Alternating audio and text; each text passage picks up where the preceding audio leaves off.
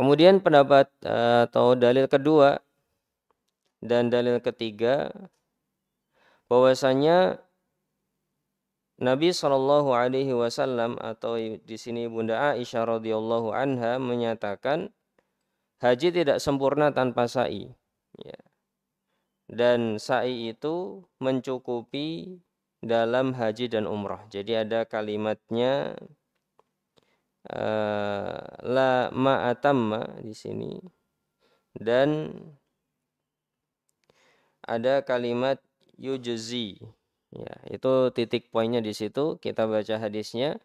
Dari ibunda Aisyah radhiyallahu anha beliau mengatakan Tafa Rasulullah sallallahu alaihi wasallam. Rasulullah sallallahu alaihi wasallam tawaf. Wa tawafal muslimun. Orang-orang dari kaum muslimin pun juga tawaf yakni baina sofa wal marwata. Maksudnya tawaf antara sofa dan marwah. Ya. Faka fakanat sunnatan. Maka tawaf antara sa'i dan tawaf antara sofa dan marwah itu adalah sunnah.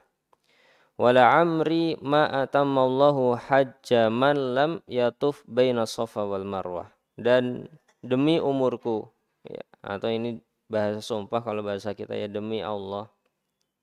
Atau mau penekanan sungguh-sungguh gitu ya. Ma Allah Allah tidak akan menyempurnakan haji orang yang belum tawaf antara sofa dan marwah ya jadi ma atamma titik poinnya di sini.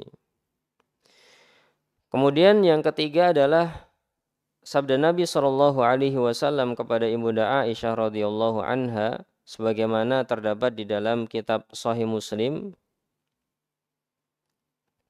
yujzi angka tawafuki atau yujzi angki tawafuki baina safa wal marwata an hajjika wa umratika Tawaf antara Safa dan Marwa itu mencukupi mencukupimu ya, untuk haji dan umrahmu.